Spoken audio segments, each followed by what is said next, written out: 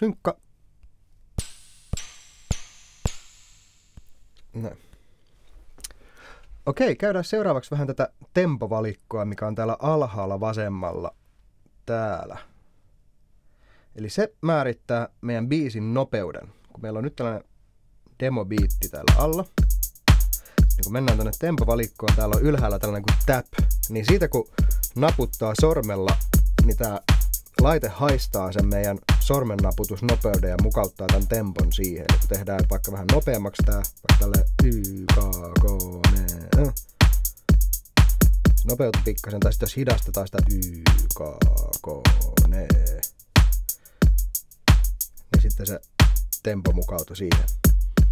Ja tämä on tosi kätevä, jos haluaa vaikka livenä rumpalin tai kaverin tai bändin kanssa jammailla, niin toi on tosi kätevä, koska sieltä pystyy sitten rumpali soittaa vaikka Y, K, K, nä, tan, tan, tan, niin tota naputtamalla saa automaattisesti tämän kaosilaattori siihen samaan tempoon ja sitten on hyvä jammailla bändin messissä siinä oikeassa taimissa. Sitten täällä vieressä on nämä plus ja miinus ja niillä pystyy sitten säätämään sitä tempoa vielä tälle asteittaisesti hitaammaksi tai nopeammaksi. Tähän tyyliin. Ja näiden alla on tämä Quantize. Ja se on aika magee. Se on sellainen, että se korjaa tätä meidän omaan soiton rytmiä.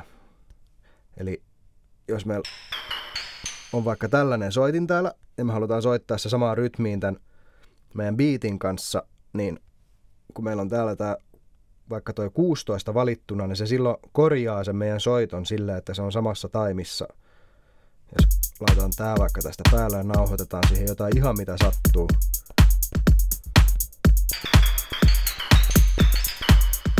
Noin.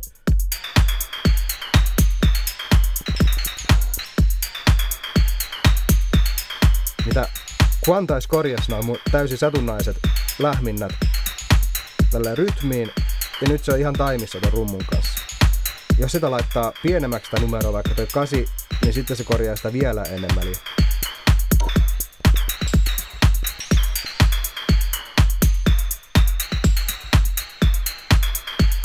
Ja se pysyy aina tässä taimissa ja se on tosi siisti, koska sillä saat tosi mielenkiintoisia rytmisiä juttuja tehtyä, kun ihan vaan satunnaisesti painaa täältä. Ja sieltä aina tulee jotain aika kivaa. Sitten siellä on näitä muita aika-arvoja, on esimerkiksi tällaiset kuin 16T ja 8T.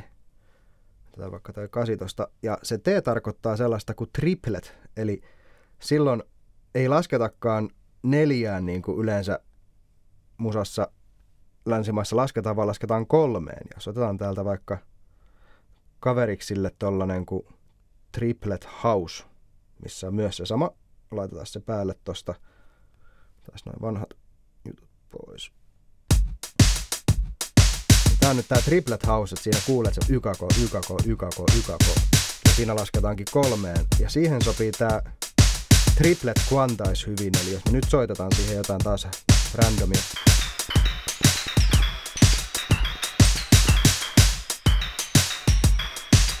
Niin se Quantize korjasi nyt myös näihin tripletteihin ton mun soiton. Eli se on tosi hyödyllinen apu. Sitten täällä on myös tällainen kuin Loop Quantize. Ja se taas vaikuttaa sitten, se ei vaikuta tähän meidän soittoon, vaan se vaikuttaa siihen, että sitten kun mennään tänne ylävalikoista tähän loop-listiin, ja täältä laitetaan näitä päälle, se vaikuttaa siihen, että kuinka äkkiä, kun me vaihdetaan seuraavaan loopiin, niin kuinka äkkiä se hyppää siihen seuraavaan loopiin. Nyt se on esimerkiksi silleen, että kun mä painan, se vaihtuu vasta sitten, kun se seuraava tahti alkoi mennään tonne tempoon ja laitetaan se vaikka toi 1 kautta 16, niin nyt se vaihtuu melkein heti. Tää voi olla vähän hankala. Koska sit se vaihtaa niinku kesken biitin, se hyppää heti toiseen. Niin sen takia tää lukko on taas ihan kätevä sitten, kun soittaa noita useampia lukkoja, niin sit se aina se seuraava lähtee oikealla iskulla.